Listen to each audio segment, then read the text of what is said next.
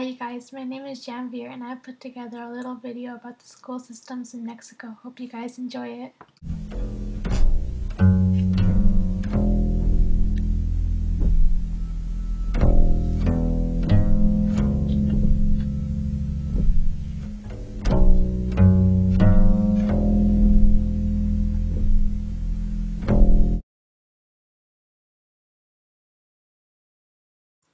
The classrooms are pretty plain and simple, not much to it, just the basic necessities for any classrooms, just desks and a whiteboard.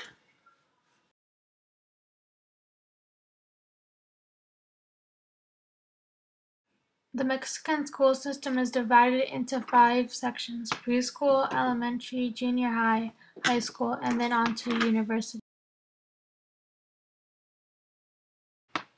Preschool in Mexico is required for children three to five years old. It's a mandatory course for everybody in Mexico, unlike here in the US where it's an option for our children.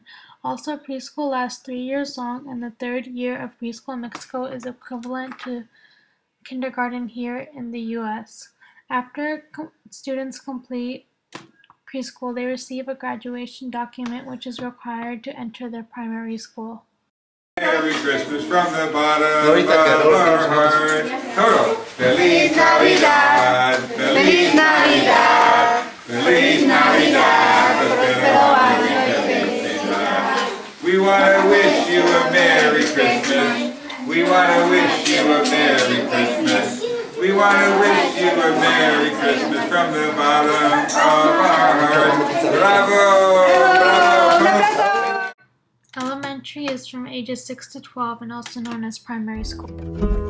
el corazón de la política. niños y sus resultados educativos, su mejora Elementary schools in Mexico are from first grade to sixth grade. They have both AM and PM classes. They're from 8 AM to 12 PM and 2 PM to 6 PM. AM and PM classes have separate principals, and some teachers teach both morning and afternoon classes. Actividades físicas y culturales dentro del horario de clases. Música,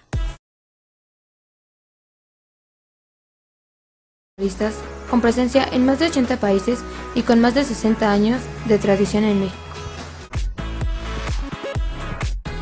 Bienvenidos. Bienvenidos. Bienvenidos. Bienvenidos. Bienvenidos. Bienvenidos. Bienvenidos. Bienvenidos. High school is optional for kids after they are done with grade 6. High school is also known as preparatories and mainly found in urban areas, making it costly for those in rural areas. Since school is free up until grade 6, then parents must pay for textbooks. In the USA, school is free up until grade 12.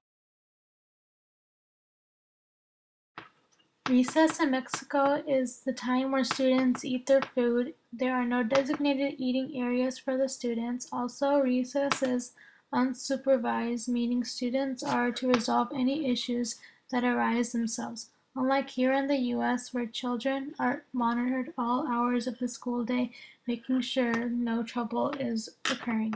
Por 30 años va a trabajar, va a estar a cargo de unos cursos, o sea, 2.000 alumnos, 2.500 alumnos.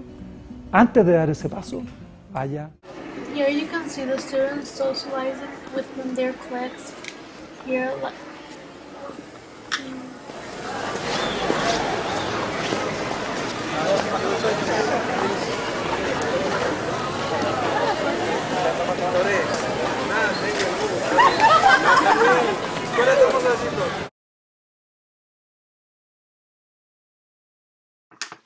The secundarias are for secondary schools and high schools. It's a program where students watch 15 minutes of televised lessons and work for 45 minutes to complete their assignment in their national textbooks, which were based off the lesson just given with the help of their teachers.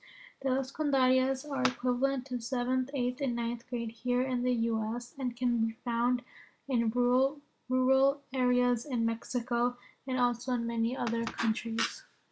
Students complete their assignments and watch their videos every hour. han representado la única opción de seguir estudiando para muchos jóvenes mexicanos. En la actualidad, el modelo presenta serias limitaciones.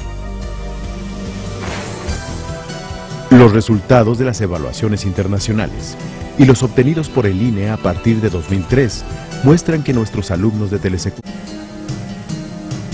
el reto principal del sistema educativo mexicano es mejorar la cobertura, la calidad y los resultados de la educación secundaria.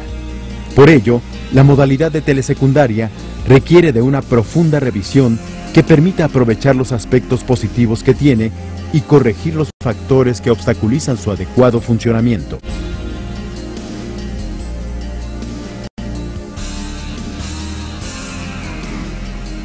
La necesaria revisión de la modalidad de telesecundaria también deberá considerar un proceso de análisis de las técnicas de enseñanza utilizadas para adecuarlas, con el fin de que permitan a los jóvenes el desarrollo de habilidades y la adquisición de conocimientos específicos.